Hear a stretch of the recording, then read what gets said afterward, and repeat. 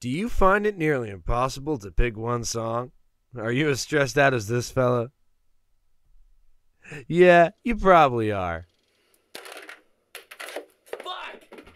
I can never pick a song. There's too much music on there. I never know what to listen to. The burdens of carrying around thousands of songs can be such a nuisance, oh, as well as a harm to yourself and others.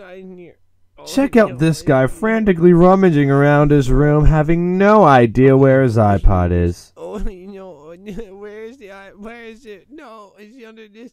I don't know where it is. I no no no.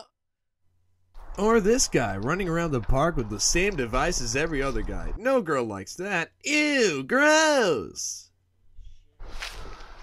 Picking a song can be dangerous.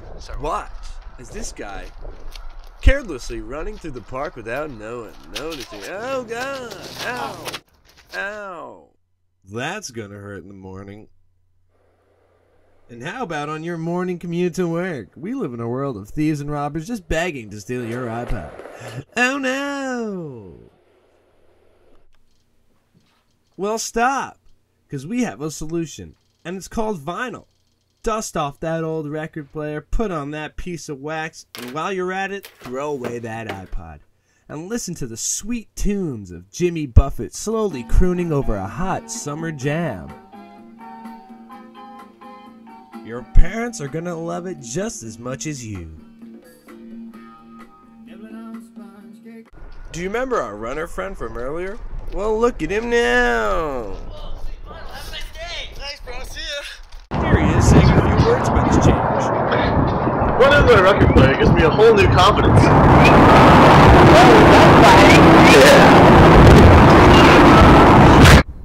And you remember our morning commuter? Whoa, whoa, whoa. Is this Jimmy Buffett? Dude, I love this album.